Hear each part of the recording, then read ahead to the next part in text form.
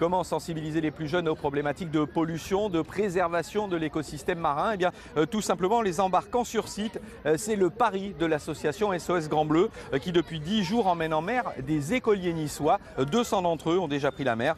Vous voyez ce reportage de Pierre-Olivier Casabianca et Yannick Fournigo. Gilet de sauvetage et casquette vissée sur la tête. Ces écoliers d'une dizaine d'années partent à la découverte du monde marin. Maintenant, il n'y a plus qu'à surveiller votre cap compas.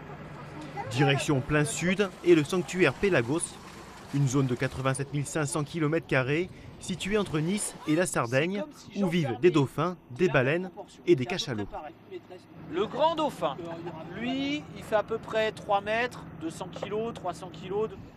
Après une explication détaillée du mode de vie de chaque espèce de cétacé, les enfants sont sensibilisés à la protection de la mer Méditerranée. Il y avait des animaux qui mouraient parce qu'elle avait des déchets dans l'eau et qu'il fallait plus le faire.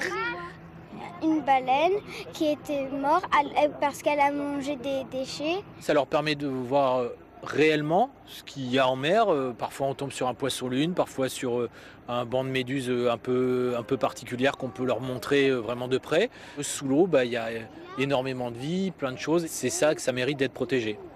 Une protection qui commence avec le ramassage des nombreux détritus qui flottent à la surface de l'eau. C'est le pire, tout ce qui est plastique, sac plastique.